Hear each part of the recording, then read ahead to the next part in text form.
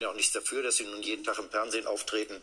Äh, aber wenn Sie allein mal an das Papier denken, was im Bundesinnenministerium hergestellt worden ist, was wirklich darauf gezielt war, den Leuten Angst zu machen, das können Sie ja alles nachlesen, ja, sind, ja, sind ja bekannt geworden, diese Papiere, äh, dann finde ich, das ist nicht die richtige Art, mit Leuten, mit Bürgern umzugehen. Ich glaube, dass die Bürger dieses Landes klug genug sind, von sich aus sich etwas anders zu verhalten, als man das vielleicht bei irgendwelchen Hochrechnungen, äh, die man man hat. Äh, äh, der Vorwurf geht ja in dem, in dem Fall an die Politik. Ne?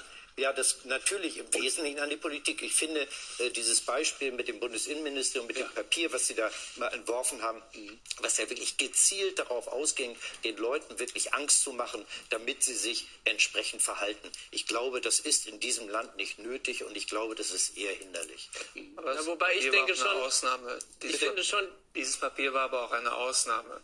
Also ich war ich bin ja auch ziemlich eng beteiligt gewesen und dieses frühe Papier aus dem Innenministerium, wo die Dinge dramatisiert werden sollten, äh, um die Menschen vor, zu äh, verängstigen, so dass sie sich schützen und ja. so.